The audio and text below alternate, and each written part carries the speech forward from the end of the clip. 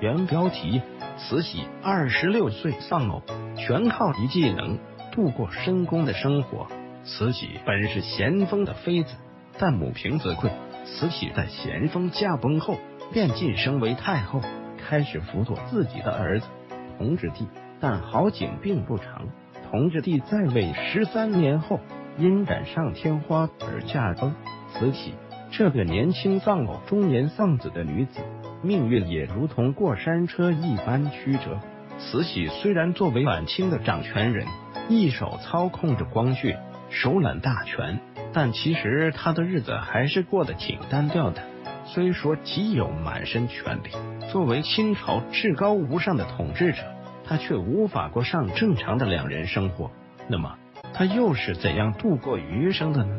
在民间有这样的一种说法。慈禧曾经得了一个太医们都不敢治的病，因为有喜，但是太医们没有人敢直言，只能够用身体虚弱来圆话，却被民间的一个神医开的药给治好了。这个说法似乎成了宫廷里心照不宣的秘密了。但其实慈禧的深宫生活远远不止这些。据历史的记载，慈禧的生活还是丰富的。虽说没有咸丰皇帝的宠幸，但是慈禧也能够自得其乐。历史上有这样的记载：慈禧在二十六岁守寡之后，便开始学绘画。慈禧所画的兰花更是精品。不止如此，慈禧还练了一手的好字。谁也不会想到，晚清集大权于一身的慈禧还有这般手艺。据说在民间还流传有慈禧的亲笔字画。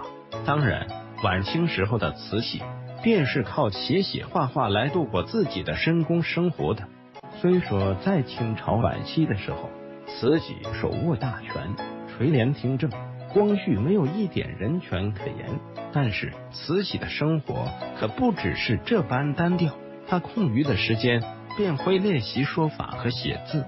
这样的慈禧虽愚昧无知，遭到众人的唾弃，但对比来说，后宫中能有这般才艺的，恐怕没有几个人了吧？慈禧也算得上一代才女了。注：图片均来源于网络，若有侵权，请联系删除，返回搜狐查看更多责任编辑。